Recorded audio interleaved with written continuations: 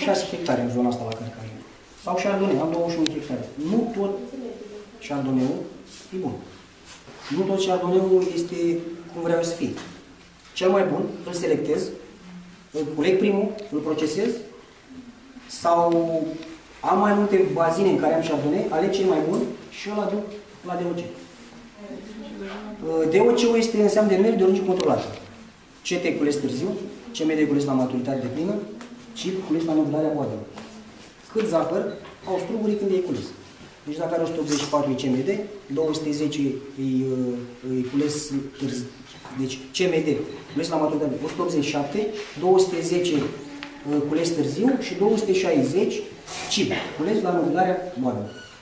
Trebuie să fie un element edificator în alegerea unui vin. Deci trebuie să aibă programul asta, e emisă de ONVPV, Oficiul Național al Vinii și Produselor Vitivinicole, e ca un timbru aplicat distilatelor. Certificare. Certificare.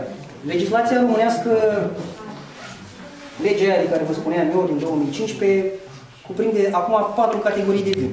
După părerea mea, le-au complicat. Înainte erau trei. Doc, ghe, masă. Acum sunt patru. Masă, doc, ghe și varietal. Adică fără doc, fără idee, dar poți să-i scrii soiul, dar e varietal. Eu am făcut niște interpelări la Ministerul Agriculturii, la domnul Dicu și am spus, domnule, ce se înțelege prin vin varietal? Păi se înțelege un vin produs de o cramă care are crama în ploiești și mai are vin la cel Vodă. Păi și zic că e corect?